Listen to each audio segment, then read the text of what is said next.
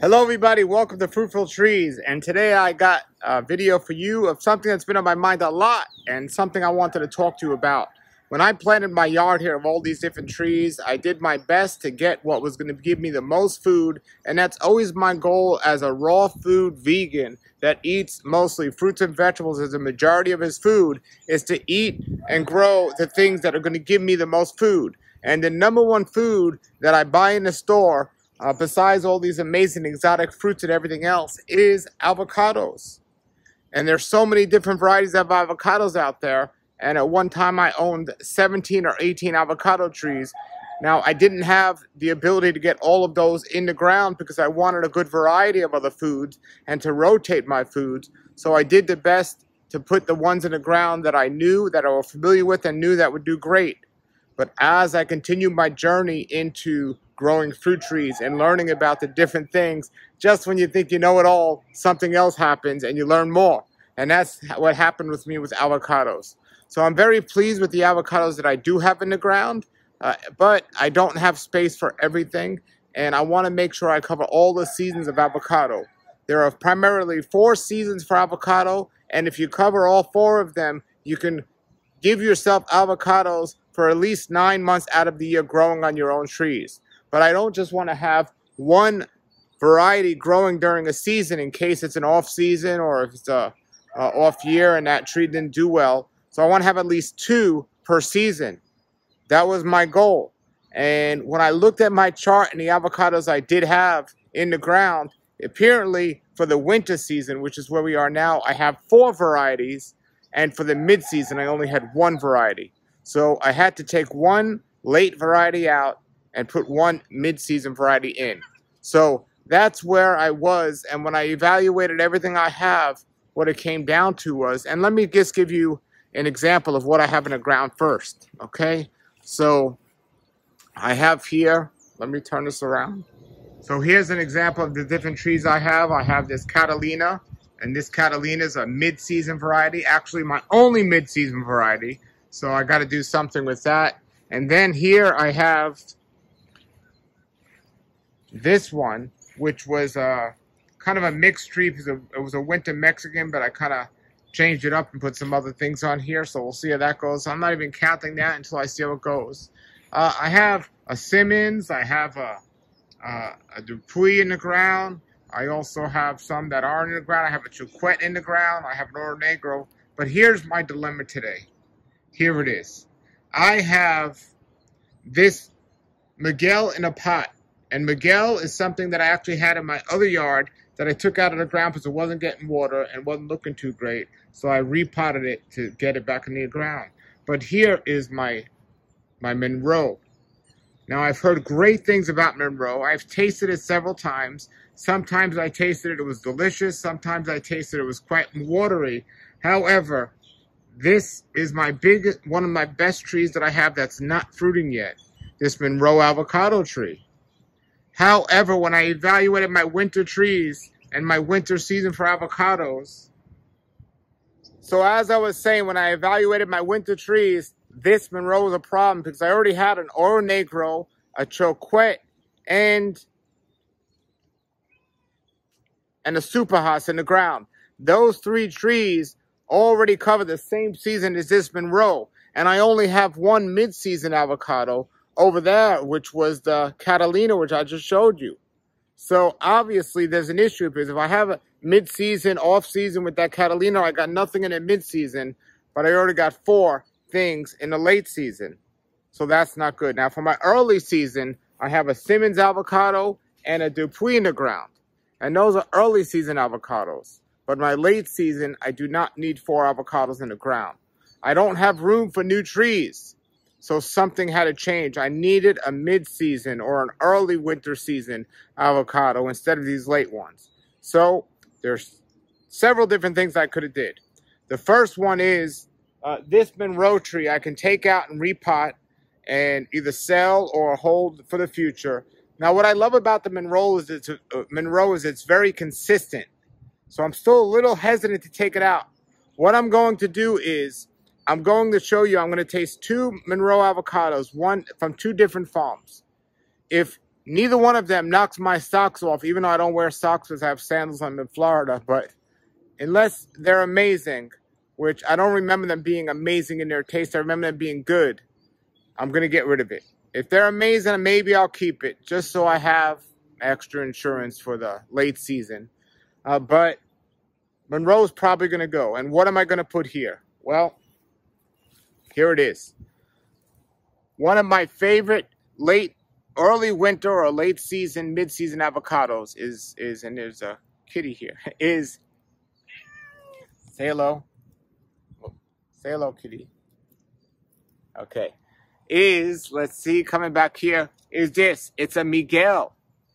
My neighbor has a Miguel. It's his favorite tree and it does wonderful. It tastes good and it fruits well. It's very consistent. So I am thinking if this Monroe doesn't taste, that I'm going to taste.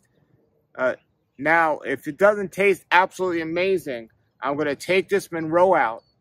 I know I said I'm not going to take trees out, but when you have a small space, you don't have a choice sometimes. I'm going to take this Monroe out and I'm going to put this Miguel right here. So that's one option. Now, another option is if the Miguel does taste great and I want to keep it, then I got to remove something else. And if I just come back over here, I have several trees in the ground. This I have a jujube in the ground, which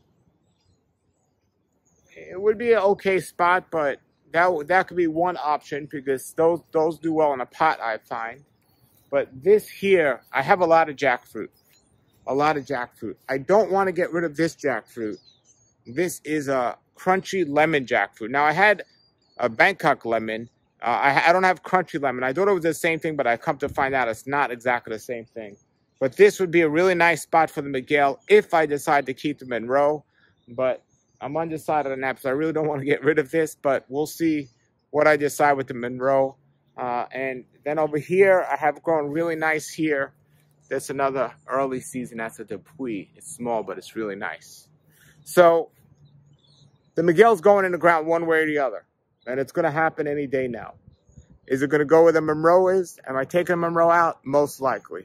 Now, I still have some avocados in a pot, but when I was researching the Miguel, there was one other mid-season avocado that I heard was amazing, and I actually had the tree in the ground, and it actually died.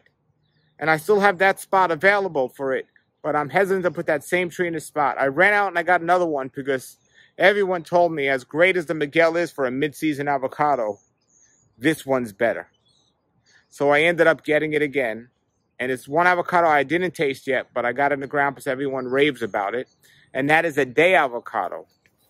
So a day avocado is supposed to be a good mid-season avocado. So what I did to find a spot here is I, I, I, I recently took out uh, a, a banana tree and also I took out uh, a, a raw sapote tree and I know I just made a video about raw sapote, and I'll, I'll, make another video about why I decided to take that one out. And I put a day avocado in, so check it out. Okay, so where the cat is there, this is a, the cat likes the spot. Uh, this is the spot I created for the day avocado. So day avocado is a mid-season avocado. I don't need the Monroe if I have the day. I had created a lot of room here. There's my orange sherbet tree, and I, I moved this over. And where the cat is there, I have I have a day avocado. It's not a big tree. It tastes amazing. So I could leave that there. So now I got a day avocado. So now I'm in a situation where I'm going from one mid-season avocado Catalina to three. So I got my day avocado in. Now I still have some avocados that I have not yet uh, put in that we'll see if I get more space or something happens. I don't want to overdo avocados because now in the winter, when all my trees are blooming, I got Super Hass, I got Choquette, and I have Oro Negro. I have too many avocados, believe it or not, more than I can eat. But I have here some avocados. I have my Maria Black, which I still have to get in the ground. Uh, that's a, a mid to late season one, so that would be good for this season as well. I have this Kampong, which is a delicious late season variety that I absolutely love. And then I have my improved pollock. that I still got to get in the ground. And on top of that, I have a seedless avocado that I don't know the season to that I got to get in the ground as well. So I have some decisions to make. I'm leaning towards getting rid of the Monroe and putting in the Miguel over there. And the other one's just leaving them in a pot for now. Uh, but this uh, improved pot, I mean, this uh, has to get in the ground soon because it's really big. But I want to show you the Monroe and what's going on this year with Monroe right now. It's very interesting. So let me show you that now. Okay, another reason why I'm thinking of getting rid of the Monroe avocado is uh, my friend has a farm, an avocado farm in Homestead, uh, Guac Farm or Sleepy Lizard Avocado Farm, and he sells Monroe avocados. So I can always get Monroe avocados to my front door at any time with just one a phone call or message, I can get a box of avocados at my front door, uh, Monroe avocados if I want them. And I already have a Choquette avocado as for my uh, season as well now. And the Choquette is, uh, is very similar to Monroe. So I don't think I'll need it, but if I do need it, I call him up and he sends it out. And now here's a list of, uh, of, of what he sends in the package. And he has Choquette, he has Simmons, he has a, a, a and Monroe and a bunch of other ones that he has on his site. That's amazing. So you want to go check that out at guacfarm.com. Guacfarm.com. That's a G U A C F A R M.com. But this is a Monroe avocado that he sent me from his tree. And this is a big, giant avocado. And once it gets ripe, I'm going to taste it. Now, the interesting thing about Monroe this year is my neighbor has a tree, and also another friend of mine who has a farm has a tree, and they only came out this small this year. So I don't have I don't have a, a way to hold this and that, but let me show you the difference here of Guac Farms Monroe avocado versus everyone else's Monroe avocado this year. And these are both Monroe. Look at that. That's from Guac Farm, Sleepy Lizard Avocado Farm, guacfarm.com. And that is uh, from either my neighbor's tree or another local farm. They're about the same size Monroe this year. So, let's see if it makes a difference in taste. When these get ripe, I'm going to taste them and I'm going to see if there's a difference. There's absolutely a difference in the quality of the fruit and size but let's see and taste. As I'm going to taste both of these and maybe a few more before I take out my Monroe tree, just to see how they are.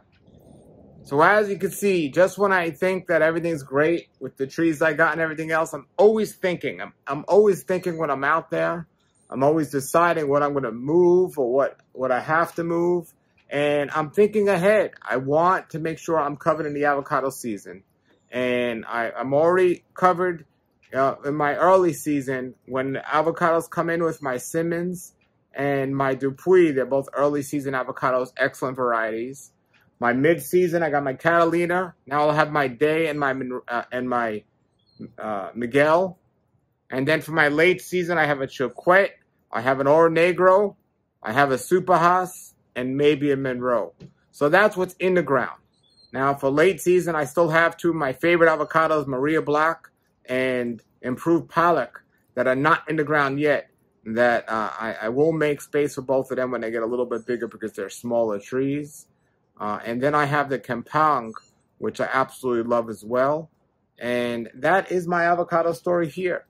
Uh, I do have a, a, dwarf avocado and an un, uh, unknown avocado in another yard. It's actually known. I don't know if it's a Lula or Monroe. It might be a Monroe, but I moved the tree from somewhere else, so that's another thing to consider. If it's Lula, that's fine. I don't have a Lula, but if it's a Monroe, that's I don't want two Monroes. But I won't know that until that tree uh, starts to produce again. Anyway, let me know what avocado trees you have and you've tasted and you like and you don't like. But that's my story here.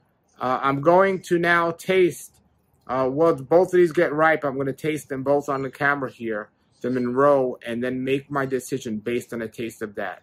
I don't want anything less than superb. And I know that the, from what, well, at least from what I hear, the day avocado is, is superior to many of the avocados out there. So I'm looking forward to that. I know Simmons is superb. I've had that. The Super Hass is superb. Monroe, I really like. I'm going to have to compare that against the day. Catalina is superb. Oro Negro is my favorite. Choquette is so-so. It's very consistent. It's a good bearer. Uh, a little less than than outstanding, but but definitely great quality. Uh, but the Maria Black and the improved Pollock and the Kampong that I have that aren't in the ground. Oh, and I also have a Tyler, which I tasted recently. Another amazing avocado, but it's late season. So I, I don't want to have just a bunch of late season avocados and nothing else. So that's why I'm uh, considering, highly considering taking one out and replacing it. All right, everybody. So I'm going to come back here with a taste of both these Monroe and make my decision. Okay, everybody, today is the day I make my decision. This is my Monroe avocado that I got from Sleepy Lizard Avocado Farm, and here's a shirt that they sent me as well. You can get these Monroe avocados in the mail right now, depending when you're watching this, but if you're watching this when it first posted, they're in season right now. And I'm deciding if I'm going to keep my Monroe avocado tree because it's the same season as three other trees, uh, avocados that I have. And the downside is I don't need four avocados in the same season. The upside is the Choquette and the Oro Negro that I have right now are known to possibly be alternate bearers. And I don't want to be stuck with no avocados. And then the third one I have is a Super Hass. And this year it's doing great, but that's known to ripen uneven. This year it's been fine. So there's a possible upside of keeping the Monroe. But again, I need another mid-year uh, avocado or mid-season avocado. Uh, I just uh, have that day that I showed you, and I also have my Catalina, but I really want to get a Miguel. So I was thinking of taking out the Monroe and putting Miguel in, but the Monroe, Monroe, Monroe tree is looking great. So this is going to determine what happens. I'm not wearing socks, so it can't knock my socks off because I wear sandals. But if this knocks my socks off, I can't get rid of a good tree. even though I should. So I'm going to taste this now. And I've had Monroe before. I've had several Monroes. To me, they taste like a Choquette. Uh, some I had were great, and some I had were so-so. Now, Tom at Sleepy Lizard Avocado Farm says that the issue is if you pick them too early or early in season, not just too early, but early in season, they're not as good as later in season. Now they're supposed to be perfect. So here it is. We're going to try it right now and see what's going to happen.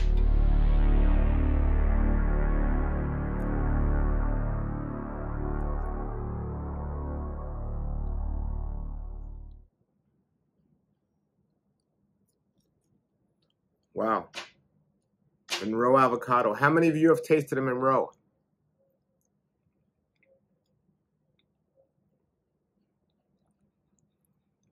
It's really nice.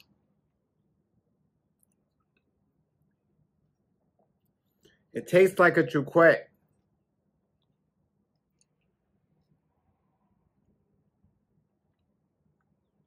That's really nice. Now I would like to get the Miguel in. I don't have much of a space. The Miguel's getting big. If I don't get in the ground, I'm going to have to uppot it. But I have to say, I'm really impressed with this Monroe. Now, something I have to consider is this is from Sleepy Lizard Avocado Farm. If I get rid of my Monroe, I can always get them from there. They have a ton of Monroe trees. Also, another farm gave me a Monroe this size. Look at the difference. So something they're doing at Sleepy Lizard Avocado Farm is getting the Monroes to be how they're supposed to be, possibly. And am I going to be able to do that as well? And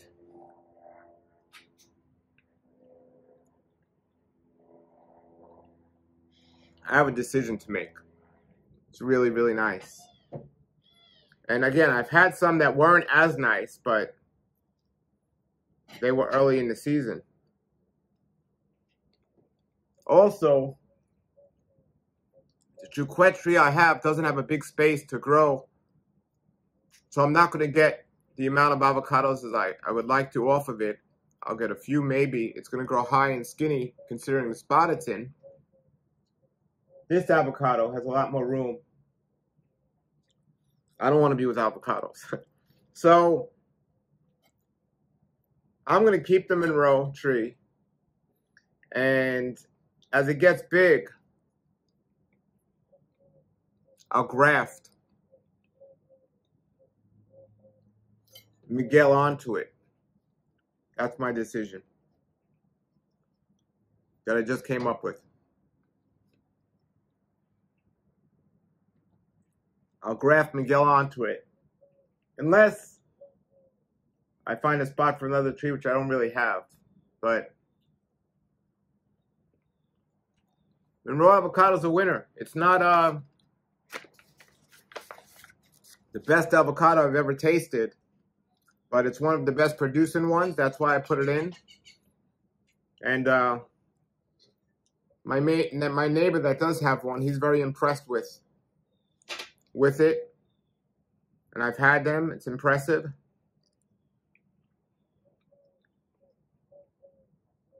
If you want to taste them in raw avocados uh, and other avocados, Choquette, and whatever else in season, go to guacfarm.com and they ship boxes of avocados in the mail to you uh, for almost the same prices as you can buy them in the store, but you're not going to get them this great quality. So I'll put that link below the video. And uh, put your comments and questions below. I'm really excited about the day that I got in the ground, the day avocado. And we'll see what happens with the rest. All right, everybody. Uh, thank you for watching and keep growing.